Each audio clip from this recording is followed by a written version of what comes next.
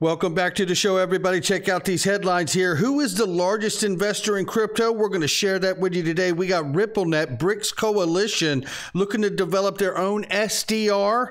And could the IMF's ESDR equal XRP? You're going to see some evidence, I believe, of that today with a new report from the BIS that's out right now. Somebody roll that beautiful intro.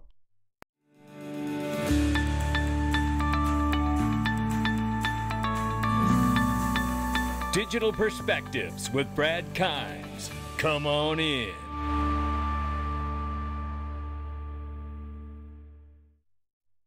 Welcome back to the show, everybody. You can follow me on Twitter at Dig Perspectives at the top of the screen. Everything that we're talking about here today $953 billion market cap for crypto. We're off by 2.9% this morning. Good morning. It's July 11, 2022.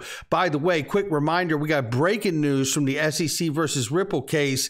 SEC's looking to make secret some of their information from expert witnesses. We will get into that shortly here. Right now, Bitcoin 20,500 plus, Ethereum. Ethereum 1100 plus, and XRP at the number seven spot at 32 cents. Ladies and gentlemen, let's take a look at it. We're off by 3.71% in the 24 hour. We're ranging between 32 and 34 cents. We'll keep an eye on it. This morning, I tell you about GlintPay. I love working with them, but I love being a customer even more. I'm about to top off my GlintPay card and add some more gold to hedge the inflation that we're all feeling. And I wanted to play you this clip too, because, you know, I feel like things like this are a real possibility. We're going to hear from Stansberry Research, Daniela Cambone, and David Morgan, who we're going to hear from again before we get out of here. But take a listen to this 30 second clip here the idea that you have money in the bank, everyone takes for granted, but they don't read the fine print to realize they're an unsecured creditor. I'm talking about the United States now, an unsecured creditor to the bank. And it's really the bank's money, believe it or not. And what that means in a banking crisis, and let's say that there is a bail in, then they have the right legally to take what you consider to be your money now that's a huge problem for me. And, you know, that's why I love GlintPay. And I'm sharing this because, you know, with inflation getting so high, we've always had conversations here. Could the banks turn at some point after they get all the digital money released in the world and go to a negative interest rate, which really means a bail in? Right. If you don't understand that, that means that if there was a 3% negative interest rate imposed and you had $100 in the bank, you now have $97 that does not a solution make for me. Now, I do believe it is wise to have some liquid cash on hand in case we experience what David Morgan goes on to say in that clip there, which you don't get to hear which is some kind of cyber attack, which is Russia has threatened to do to the banking system in the United States as retaliation for SWIFT sanctions and things of that nature. So I, I think it's good to have some cash on hand, but it's also good for me to have some gold on my card and my app with GlintPay to hedge the inflation that's happening here. And that's how I do it. You can check it out with the link underneath the video. By the way, it's going on all around the world here. The Japanese yen falls to a 24 four year low against a dollar. And let us not forget, it has been said that it's possible Evergrande is backing Tether to a degree or is a part tied into the backing of Tether. And I just played for you over the weekend and last week uh, the CTO of Tether acknowledging that they do not use commercial paper to back their their uh, Tether peg. They do not use U.S. Treasuries to back their Tether peg, and the Tether itself is not pegged to the dollar but pegged to their own portfolio. And they do not use an outside firm to manage their holdings and reserves. That spells huge problems coming here for Tether and I believe the crypto space because Tether currently right now is sitting in the neighborhood of $66 billion market cap. Imagine that getting wiped out in crypto and what it would do to prices in this space. I tell you, I'm keeping some dry powder in case such an event takes place. Now, who is the biggest investor in crypto? Well, it's Digital Currency Group. Shout out to Linda P. Jones for this clip, and shout out to Reggie Middleton, who is really the founder of Veritaseum, I believe, in the Veritoken. And I believe he has been subject to bullying by the SEC as well, to say the least. I want to set this clip up for you so you can hear this important shot from this. One second. Opinion, Reggie when you name people like BlackRock and Fidelity and the like, do you think that they got involved in this, especially with the convertible notes, because they are trying to corner the crypto market because they all want to be involved in it and put everybody else out of business? Well, I don't know if they want to put anything else out of business, but there is one inexpensive way of uh, buying a business. Exactly, that's what I mean. Yeah, they want, yeah. they want, they want to be the sole uh, provider, determinant, and everything in the crypto space. That, that's the way I see it with uh, with these people involved in it and stuff like that. You know. I actually think that's a done deal already. Um, yeah. You, you know, t- take a look at the most powerful players in crypto. Who are they? Just off the top of your head. I would say like Coinbase. Um, you mean like in terms of exchanges?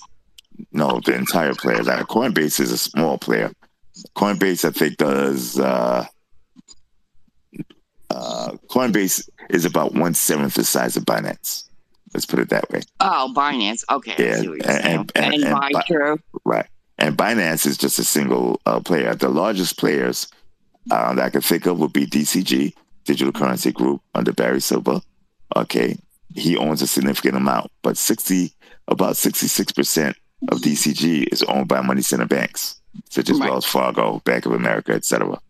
Okay, um, Citibank, and DCG is the largest investor in the crypto space, without a close second. And that really tells you right there what's going on. The money backing behind Barry Silbert and Digital Currency Group is the banks themselves. Isn't that interesting? And to understand that Digital Currency Group is invested in uh, somewhere in the north of 300 different projects, including Ripple, in this space. That is very worthy of note right there, uh, I tell you. And no one is a close second. Shout out to Reggie Middleton from Veritoken and Veritaseum, again, who has experienced, I believe, the same level of bullying that we see to LBRY and Ripple. Right here, recent journal article The Use of Technology Financial Institutions out of the Democratic Arabic Center notes the National Bank of Egypt use of RippleNet. You can see it right there. The excellent work by Ratha Kahneman here. It shows the original announcement right here eh, on ripple.com. Here you can find it. Really great stuff. We know they have a heavy presence over in the Middle East in general. Now, this is really concerning because the BRICS coalition is building a alternate to SWIFT taking a page out of the IMF's book with their own type of SDR. Now imagine now BRICS is bigger than just Brazil, Russia, India, China, South Africa. They're like 19 nations now. It is growing quickly and that could create a fractionalized zone for payments to happen between those countries, obfuscating SWIFT, its sanctions, and its really antiquated messaging platform at this point. Now, I'm just showing this to you. I'm not going to read this whole article to you, but it says here they may, ver- uh, may therefore feel the need to an alternative reserve currency to match something like the IMF's SDR. Now, this is interesting to me because we get into the idea and understanding. If you remember this from 2018, shout out to Digital Nomad Investor who actually got Jim Rickards to respond to him at the time. He said, Hello, Jim. Christine Lagarde, who was the IMF managing director at that time, said that she could see a digital asset coupled with the SDR in the future. What is your opinion on that happening? He says, It will, but it'll be controlled by the IMF, not a bunch of freelance developers. Then there is this exchange that happened. Thanks for your reply, Jim. The company Ripple is working with 40 plus central banks and they're on an IMF task force. So people are saying the digital asset XRP will or will be XRP.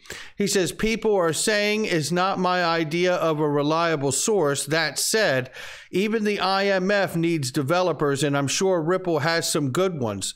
That doesn't mean XRP will be the reserve asset. More likely, it's an ESDR, an electronic SDR. Now, that is quite a statement right there because I want to first play this clip for you right here, where we see in this clip Jim Rickards talks about what is, in fact, the best choice when it comes to cryptocurrency and the mechanisms used to power it, whether it's proof of work, proof of stake, or federated Byzantine, as is Ripple's XRP ledger. We're going to have a decentralized system that a community can validate, and we don't have to rely on anybody in particular. That was the original idea. So the question is, what's your method of validation? And that's what distinguishes one blockchain from the other. So there's there I've listed four of them here, but there are others. Proof of work, that's what blockchain uses. And you know what the work is? You got to like factor these, you know, uh, 87 digit uh, prime numbers uh, into numbers into prime factors. Uh, it's a lot of computer crunching, completely clunky, completely inefficient, non-sustainable. I'll talk about that in a second.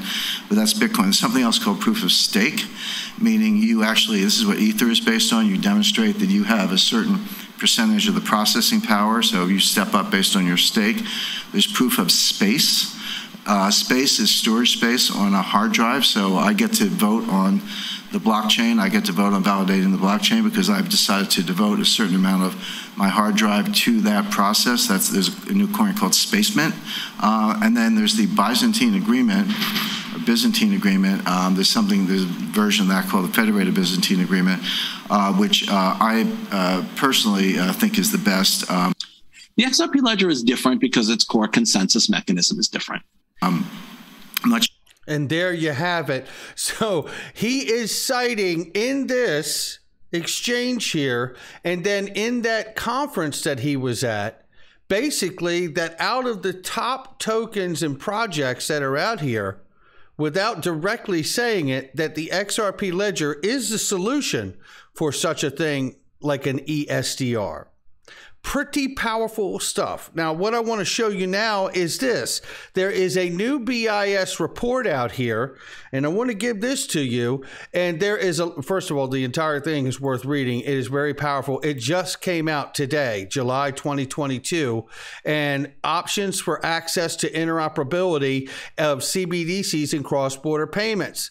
Now, in this, I just want to show you this mBridge project ongoing that aims to build a prototype for a multi CBDC platform for cross border payments. Earlier versions of MultiBridge uh, have shown that using CBDC arrangement for cross border payments can be cheaper, faster, and more transparent than today's existing systems. The other part that's interesting about this that really jumps out obviously, access to a, a, platform as a private distributed ledger technology is achieved by successfully completing onboarding process.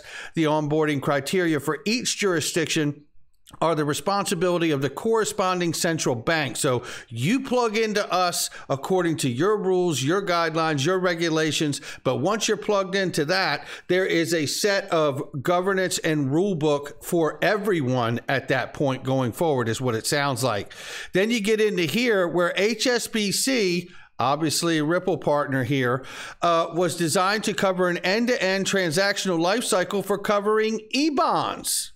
How about that? Yeah, and so, so much more, ladies and gentlemen. It is really hugely positive. But I want to take you to this now. James Wallace, just a short time ago, back in May, telling us exactly that the XRP ledger is really a part of the, what I take from what he's saying, the BIS mBridge model. It is suited for that particular model and project test.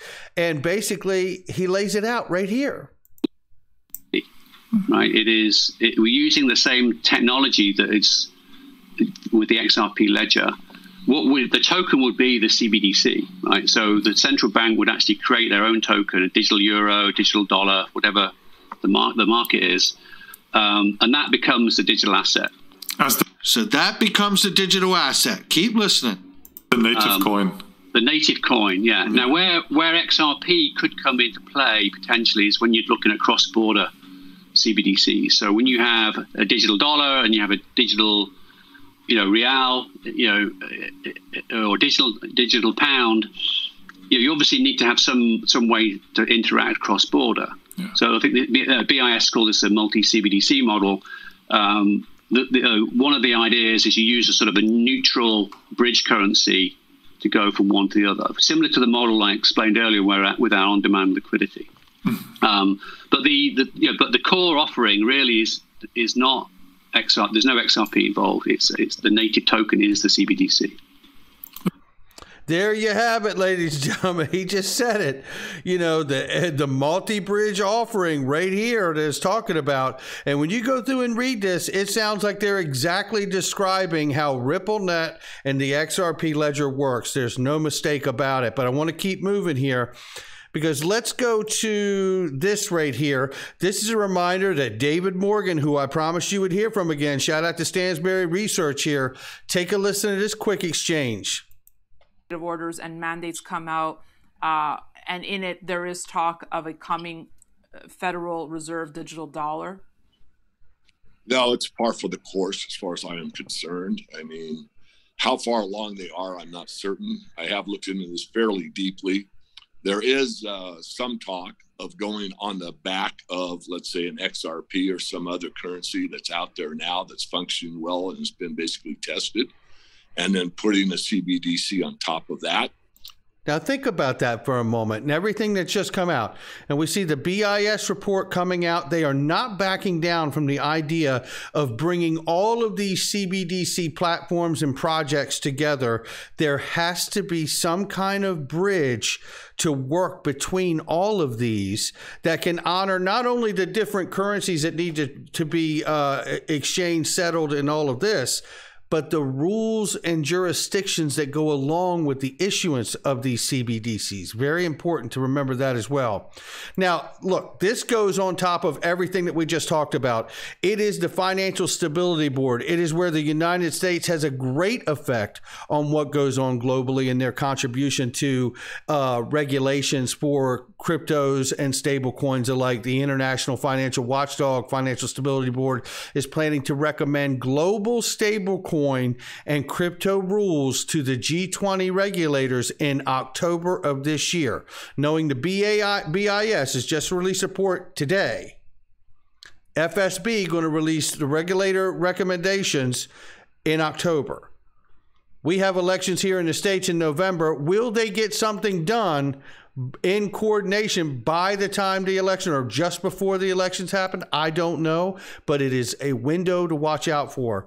And th- talk about something to watch out for. Take a look at this. This is breaking right now with the SEC wants to seal information in reference to five of its experts that it has put forward and it puts Ripple in a difficult position here. This is basically the actual filing itself from Jim Filan right here. Shout out to you, Jim, for everything that you do for all of us. Defendants in SEC embroil over expert reports. SEC is taking the extreme position that the names of its experts and substantive criticism of their reports should be kept from public view. This is just one more tactic to create a delay here. And I don't think anybody could sum it up any better than Jeremy Hogan right here. This case again is ass backwards. Listen to what he says here with the prosecutor SEC attempting to hide everything. Normally, in these cases, it's the company that wants to hide things from the public. So, normally, it would be a Ripple, the defendant, trying to hide all of these things, but instead, it's the plaintiff who brought the case to begin with. Judge Torres has shown a slant towards disclosure, so he doesn't think she'll seal what the SEC is hoping for as the way of information for expert reports. We will see, but this is not over by a long shot, ladies and gentlemen.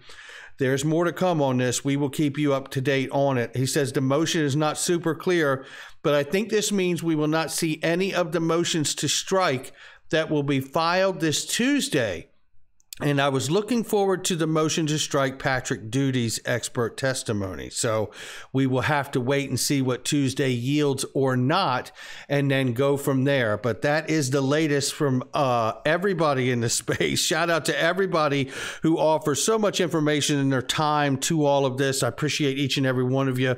That's going to do it for me today. Make sure you check out all the links underneath the video. And by the way, if you haven't done it, get your stuff on cold storage, ladies and gentlemen. You could it with Ledger.